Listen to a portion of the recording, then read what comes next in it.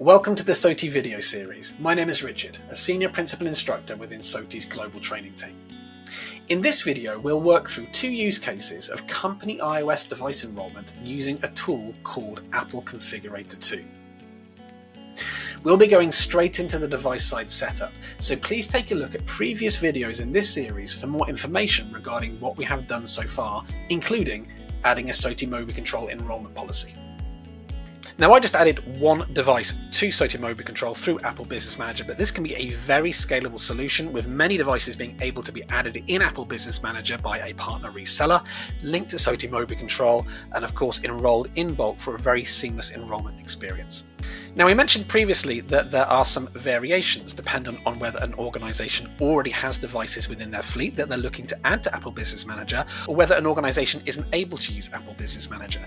So, this last section will just talk through those two use cases how to use a tool called Apple Configurator 2 to add a device into Apple Business Manager that's already within an organization's device fleet, or how to manually what's known as supervise the device uh, using the Apple Configurator tool.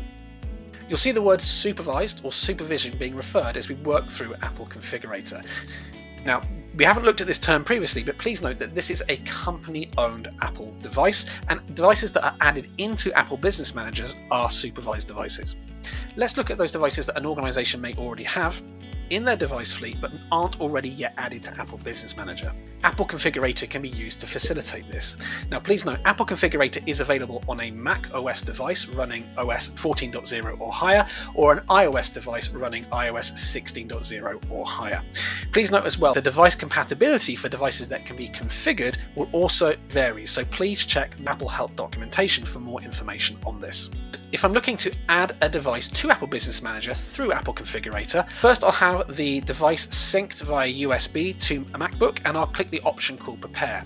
Now in this situation we're looking to supervise the devices, these are company devices as mentioned previously. We'll also add the option Add to Apple Business Manager and make sure we don't have the option of Activate and Complete Enrollment checked because we want the enrollment to happen through the Apple Business Manager process as we've already seen.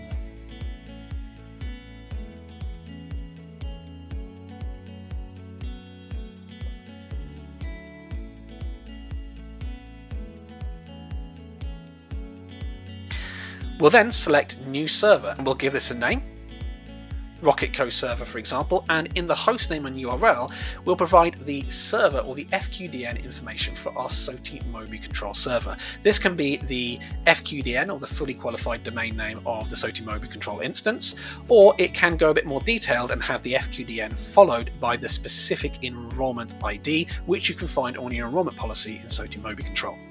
When we click Next, the SOTI MobiControl root certificate should be identified. Following this, we'll select New Organization, and when we click Next, we'll be prompted to log in using our Apple Business Manager information. From there, we'll select New Organization, and then we'll be prompted to sign in to Apple Business Manager using the Apple Business Manager administrator details. We'll next be prompted to select a supervision identity. A supervision identity is a certificate and private key pair that allows supervised devices to connect to Apple Business Manager. Now, in the case of linking to Apple Business Manager, we actually already have a supervision identity created. Lastly, we'll work through the setup assistance steps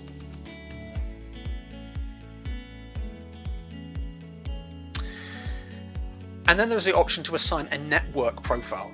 In my case, my device is just using a standard Wi-Fi connection, but this is an important consideration to provide a profile, particularly if the device is going to be connected to a corporate network.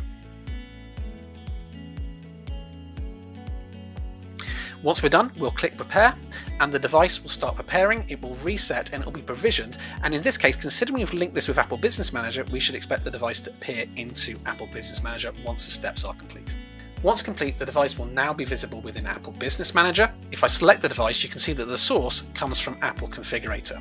Now please note, although we specified our SOTI MobiControl instance, now that this is in Apple Business Manager, the MDM assignment will be provisioned through this tool. So I can repeat the steps that we looked at previously of editing our MDM server, of course factory making sure the device is factory reset, and then getting enrolled into SOTI MobiControl. The second of our two options is concerning devices that can't be added into Apple Business Manager. There is a way of manually supervising these through Apple Configurator. Let's take a look. We go back to Prepare, we only have supervised devices selected, and then we'll click Next. Once again, we'll add in the name of our SOTI MobiControl server, specifying a server name and also the FQDN or the URL of the SOTI MobiControl instance.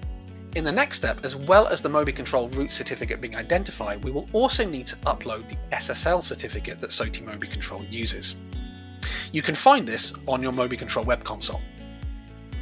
Go to the URL at the top of your MobiControl instance. On the left hand side you'll see the certificate information and we can see that this, the connection is secure. I can look at the certificate information, look at the details and choose to export the root SSL certificate. This can be added to Apple Configurator.